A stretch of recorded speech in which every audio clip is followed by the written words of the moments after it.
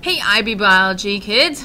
It's time for us to do another podcast, and today we started talking about abiotic factors in class, but for homework, we're going to be talking about living things, biotic factors. This is only going to be the first part of these notes for topic 2.3 measuring biotic factors. So, bio- biotic ecological sampling what is really a sample when we're talking about this? Well, it's going to be a portion, a piece, or segment that represents an entire whole. So these kids right here, they're using what's going to be called a quadrat. That's this box area, and they're going to use this sample and try to extrapolate the information in here to represent the whole field. Now, why do we use a sample? Well, because usually it would be impossible to measure everything in this field. Same thing with this stream. This team is going to be measuring organisms within the net they catch, but they can't catch all the organisms in the whole river. First of all, that would be dangerous, but second of all, for the organisms, but it would be very hard to do. So a sample is just going to be a representation of a whole. Um, but when we do this, we have to make some assumptions because samples are just representations, like we said. They're not the entire thing. So we have to just keep that in mind. And we also have to plan accordingly and make a large number of trials so that our data is more precise and more accurate. And when we're discussing, we have to, best as possible, avoid bias when we're sampling. Where we pick our samples, we have to do that randomly. So if we go back here, this team would have randomly had to select this area of the field. They can't decide, well, I like this area best, so I'm going to measure only this spot versus the spot back there. And when we're graphing, we're going to usually kind of deal with these assumptions by using error bars. And when error bars overlap too much, well, that means that the sample is probably not as reliable as we wanted, and maybe we needed more trials. So we're going to focus on a couple different types of sampling methods for living things in this class. Uh, for these notes, we're going to focus on this first one, the Lincoln Index, which is about estimating population size.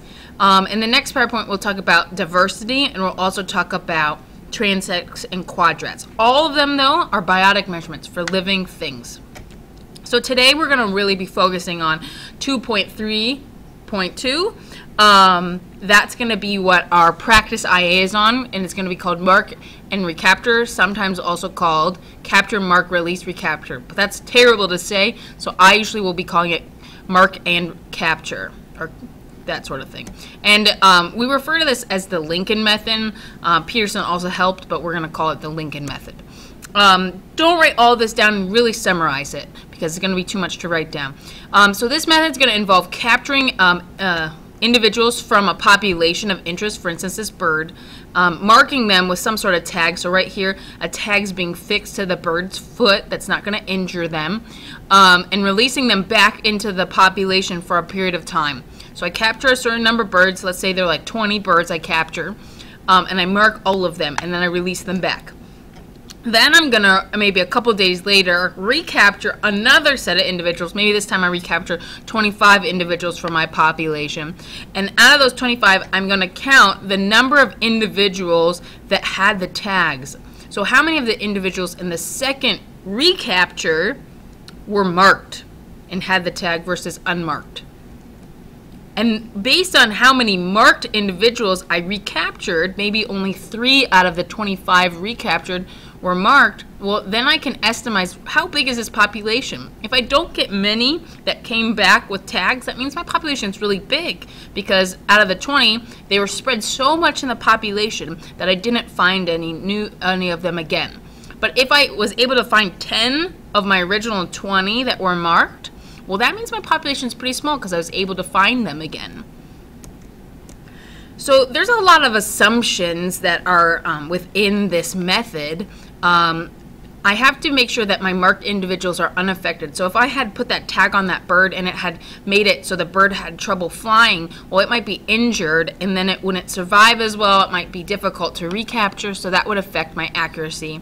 I have to also make sure my marked individuals are completely mixed back in my population, and that's why I would want to wait two days. I would want to make sure that we're fully mixed. Otherwise, I'm going to randomly accidentally grab the same individuals from the first time again and that would make it so that I would think my population was smaller than it actually was.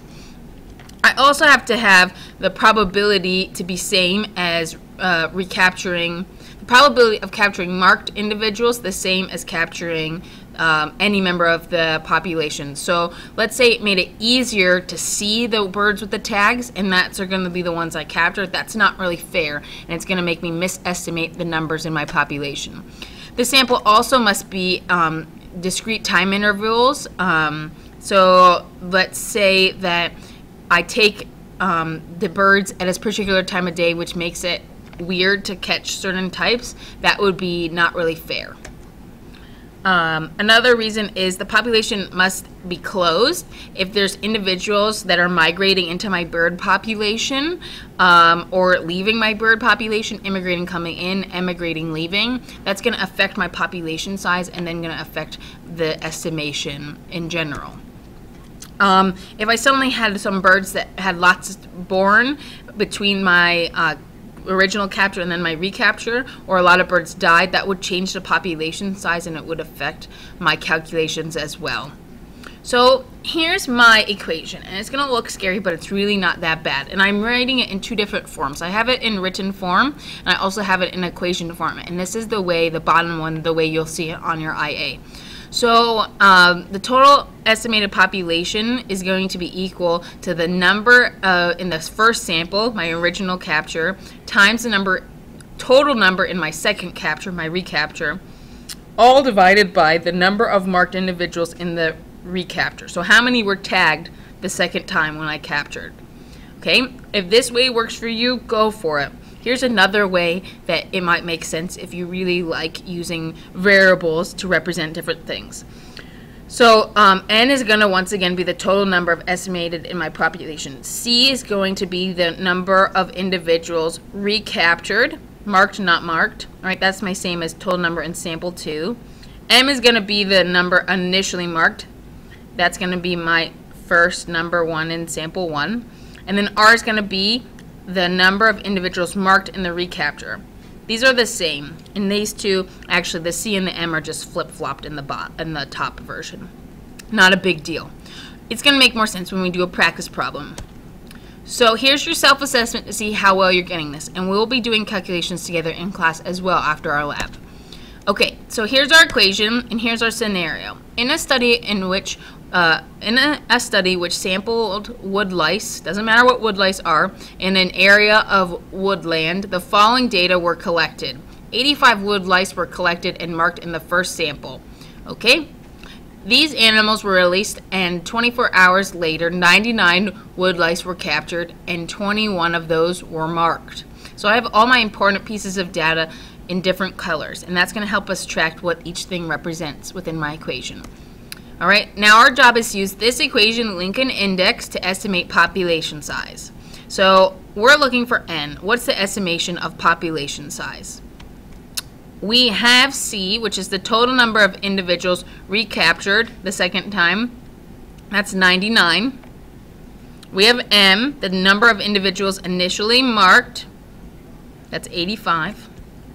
And below, at the bottom, oops, we have, let's see if we can move this so it shows up. Whoop, there we go. Are the number of marked individuals recaptured, which is 21. Okay, we have all of our data that we can just plug and trudge now into this equation. All right, and that's what you would get if you put them in properly, which would give us a total when we would round up to 401 individuals. You would never want to put a percentage for your final, final answer. Why? Because you have partial organisms? No. But if you were going to use this data to average between doing this whole assessment, recapturing multiple times, you wouldn't want to round up. And that's what we're going to be doing next class. You're going to be sampling uh, modeled fish population and you're going to need to average doing this recapture process multiple times. And we're going to practice that more in class to do your IA. Good job, guys.